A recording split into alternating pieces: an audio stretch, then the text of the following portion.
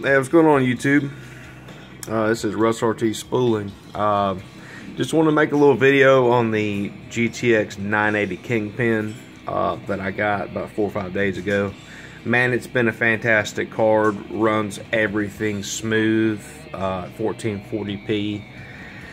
Uh, um, this isn't going to be a full video review on it yet. I just wanted to go ahead and uh, kind of show you what it looks like. The new custom RGB LED lighting's awesome. I went with like a light kind of purple right there on the front face with the right above where the kingpin is. It's got a LED on the top of that and I've got that glowing red that fades in and out. Kind of reminds me of kind of like the Terminator or something. But uh, man there's just freaking millions of color combinations you can do with it. It's really cool. Um, trying to get that as neat as possible, which it's pretty clean in there. Anyway, um, it's on the i7 3770K with a Sabertooth motherboard, um, Sniper 1866 RAM. Uh, got a Samsung 840 Pro SSD with a couple of 2 terabyte hard drives. Um, it's a nice system. Um, the CPU possibly could be holding me back. I don't know. I mean, I, I still think it's a good CPU. But uh, the next architecture that comes out from Intel, obviously I'm going to be jumping on that because right now this tier that we're in, it's really not worth jumping up. But anyways, I wanted to show you my clock speeds. Um, I've been uh, kind of mentioning it, what my clock speeds were. You're looking at about 1303. Um, that's what it is.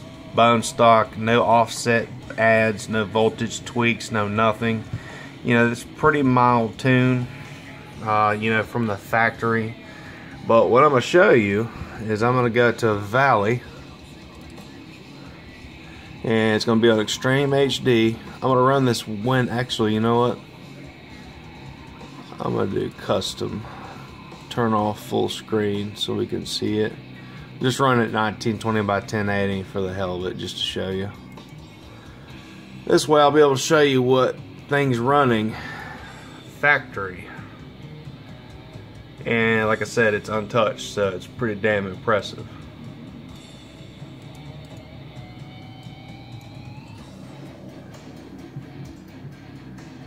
Fourteen forty two and that is bone stock.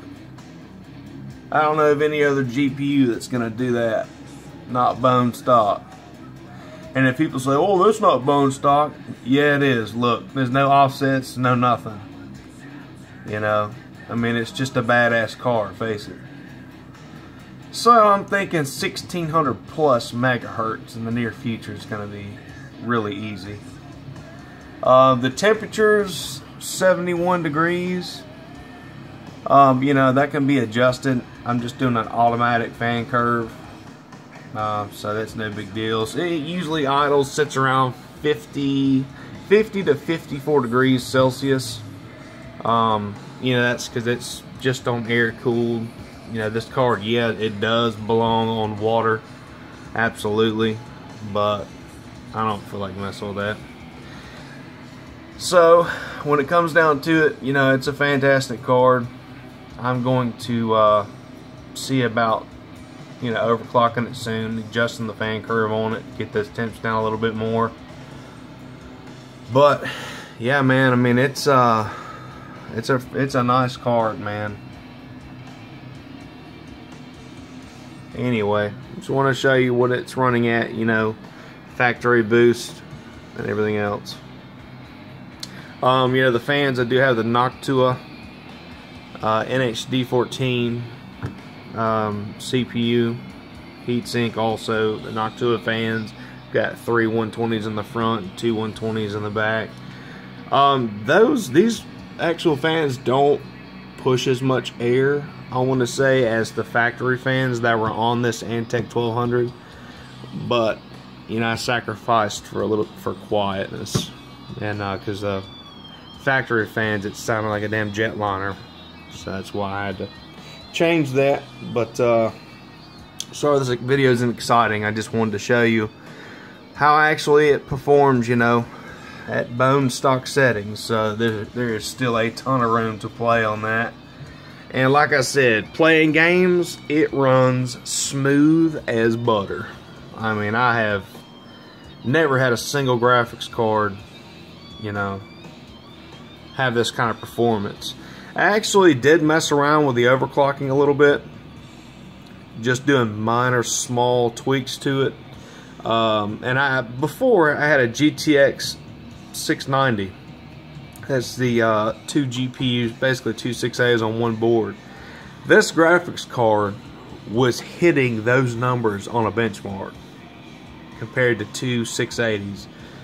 So that's that's pretty impressive. But for right now, until I get uh, custom fan curves down and start getting into the voltage, then we'll know what's up with this thing. But as of right now, man, this thing is an absolute beast for a bone stock card. Yeah, it's not gonna get no better than this. Not less, you know, like a TI or you know, we'll see how that Titan X goes. But, you know, we all know damn well it's going to be a $1,500 card, so I'll probably just roll with this. I don't know. We'll see. But you guys take it easy. I'm going to make a full video on it with overclocks and all that stuff. Show some game, gaming footage of uh, all the big games, Battlefield 4, Far Cry, all that stuff. You guys take it easy.